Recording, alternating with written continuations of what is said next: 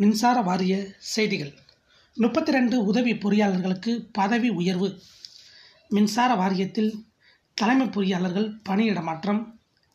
வாரிய தலைமை உத்தரவு. ஜனவரி இருபத்தி மூன்று வெளியான தகவல்.